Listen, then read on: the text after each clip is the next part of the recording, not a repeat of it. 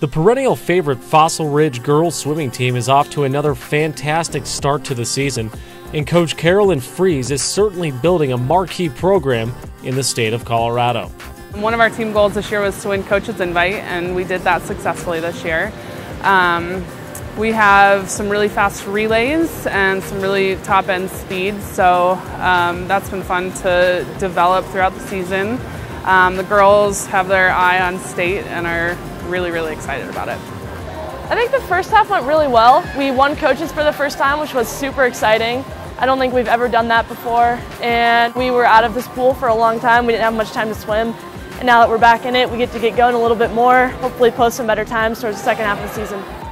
Looking forward to the state meet, the SaberCats have four swimmers who are all considered favorites in their respective events. So Kylie Alons is a very, very talented sprinter. So I'll be able to use her kind of anywhere. Bailey Kovac is IM in breaststroke. Colleen Gillian is injured right now, so we're trying to see if we can get her through to the state meet. Um, but she's butterfly and sprint freestyles. And then Zoe Bartel is our fourth one, and she she's actually nationally ranked in breaststroke. Um, and so she'll probably swim breaststroke, and then I don't know where else I'll lose her.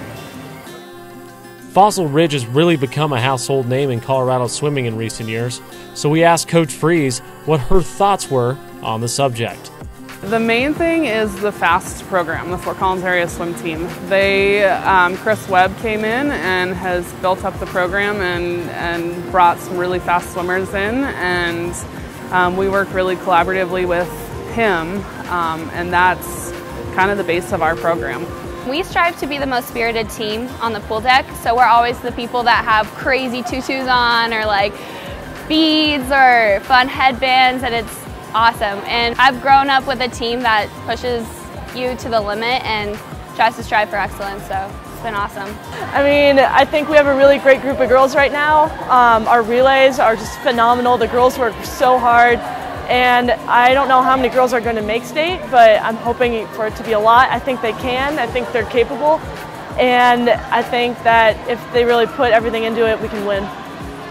I'm sure come February and state meet time, we'll hear the SaberCat name called many times.